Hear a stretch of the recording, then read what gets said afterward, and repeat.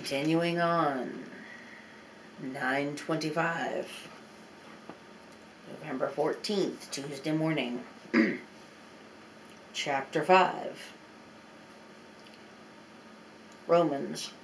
Therefore, being justified by faith, we have peace with God through our Lord Jesus Christ, by whom also we have access by faith into this grace wherein we stand, and rejoice in hope of the glory of God.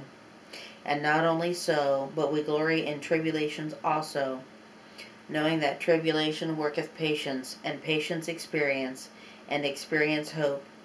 And hope maketh not ashamed, because the love of God is shed abroad in our hearts by the Holy Ghost, which is given unto us. For when we were yet without strength, in due time Christ died for the ungodly. For scarcely for a righteous man will one die Yet peradventure for a good man some would even dare to die. But God commendeth his love toward us in that while we were yet sinners, Christ died for us. Much more then, being now justified by his blood, we shall be saved from wrath through him. For if, when we were enemies, we were reconciled to God by the death of his Son, much more being reconciled, we shall be saved by his life. And not only so, but we also joy in God through our Lord Jesus Christ, by whom we have now received the atonement. Wherefore, as by one man's sin entered into the world, and death by sin, and so death passed upon all men, for that all have sinned. For until the law, sin was in the world, but sin is not imputed when there is no law.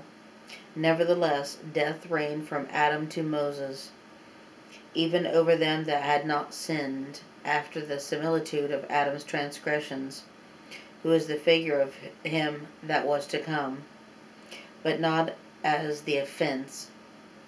So also is the free gift. For if through the offense of one many be dead, much more the grace of God, and the gift by grace, which is by one man, Jesus Christ, hath abounded unto many and not as it was by one that sinned, so is the gift. For the judgment was by one to condemnation, but the free gift is of many offenses upon unto justification. For if by one man's offense death reigned by one, much more they which received abundance of grace and of the gift of righteousness shall reign in life by one, Jesus Christ. Therefore, as by the offense of one judgment came upon all men to condemnation, even so by the righteousness of one the free gift came upon all men unto the justification unto justification of life. For as one man's disobedience were many many were made sinners, so by the obedience of one shall many be made righteous. Moreover, the law entered that the offense might abound. But where sin abounded, grace did much more abound. That as sin hath reigned unto death, even so might grace reign through righteousness unto eternal life by Jesus Christ our Lord.